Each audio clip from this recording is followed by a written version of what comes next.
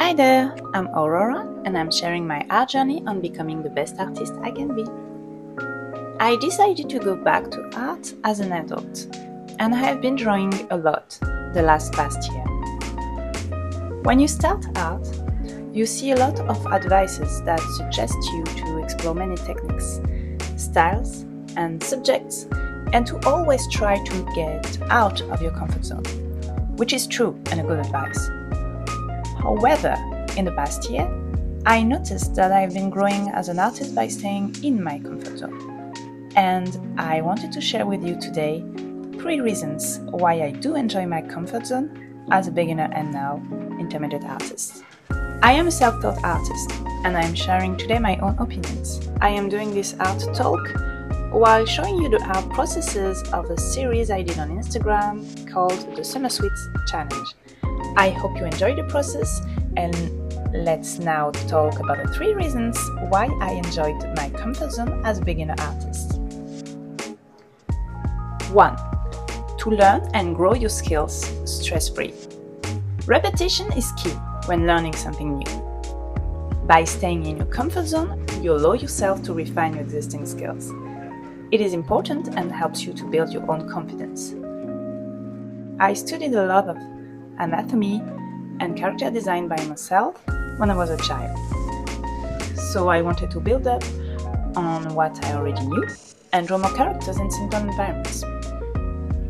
It is also good to experiment within your comfort zone because while staying in your comfort zone, you can experiment different styles and variations.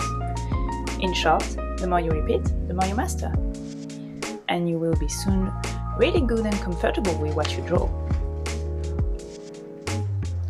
2. To empower confidence and style development.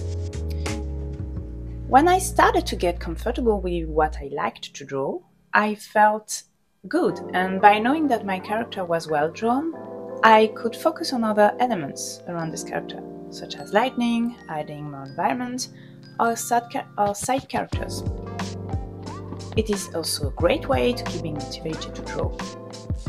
When you achieve something and you start to doing greatly, you feel more comfortable and you know that you will be able to do it again and this time better. Gaining more confidence will also help you niche down your style. And I feel the more you get comfortable with something, the more you will be able to get out of it by experimenting new things around, if that makes sense. To talk more about the motivation, I feel that you should be able to draw what you want. Even if you are training at drawing an art for one year and that you are and that you are developing your style with this. For one year I've been focusing a lot on female characters and now I feel like I gained the confidence in my anatomy and character design skills to draw to try to draw more male characters and environments. On another note, it feels also really good for your emotional well-being to draw something you're familiar with, because it also helps you to lift up the potential pressure to draw. 3.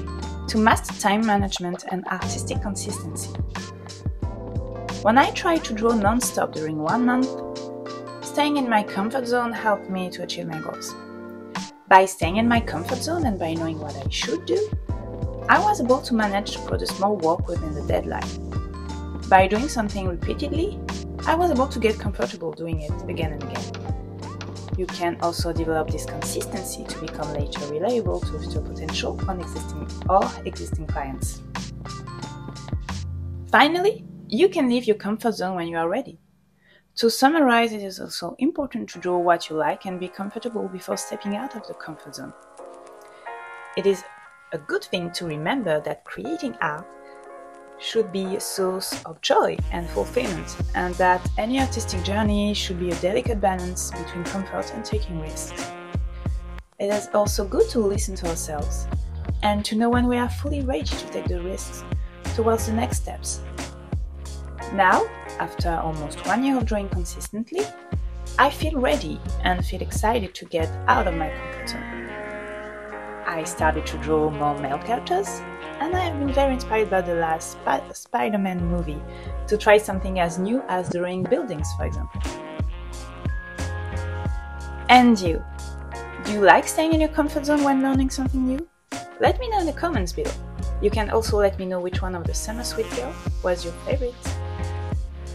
I hope you liked this art talk and seeing my processes. And if you liked this video, you can push the like button, chat in the comments, and subscribe if you want to see my other videos.